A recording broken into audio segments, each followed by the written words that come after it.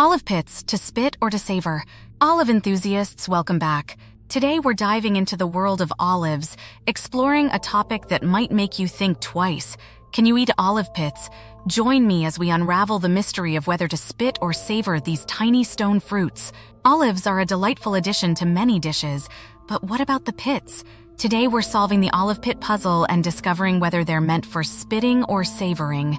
Surprisingly, yes, olive pits are technically edible. However, they're extremely hard and not particularly palatable. Most people choose to remove them before consuming olives due to their tough texture. While olive pits contain small amounts of nutrients, including fiber, they're not typically consumed for their nutritional value. The flesh of the olive itself is where you'll find the rich flavors and health benefits. Some creative cooks use olive pits to infuse olive oil with a subtle flavor. Simply add cleaned and crushed pits to a bottle of olive oil and let them steep.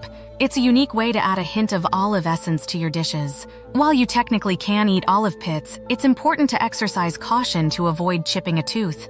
If you're enjoying olives in a dish, it's generally best to remove the pits for a more comfortable dining experience. When enjoying olives in social settings, it's common practice to discreetly remove the pits from your mouth and place them on the side of your plate.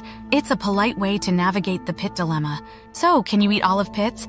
Technically, yes, but it's not the most enjoyable experience. Whether you prefer to savor the olive flesh or discreetly deal with the pits, olives remain a versatile and delicious treat. If you enjoyed this exploration into the world of olives, give us a thumbs up and subscribe for more culinary discussions. Until next time, happy olive indulging.